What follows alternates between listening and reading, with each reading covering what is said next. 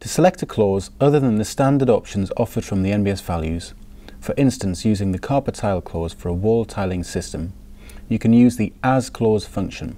This will allow you to select and download any of the clauses from the NBS libraries or link to any that have already been used in the job. Here I have the internal wall tiling system open. When I select the As Clause option under Cross-Reference, the Find Clause window opens. I want to search for carpet tiles.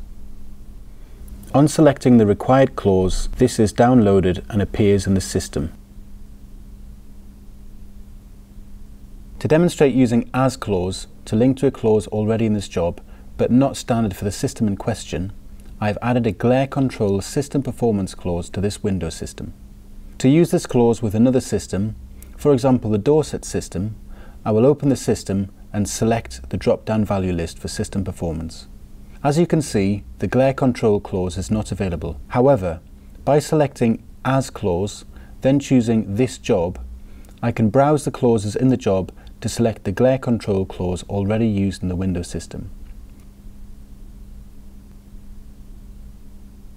This inserts a link clause, which is then shared between the two systems.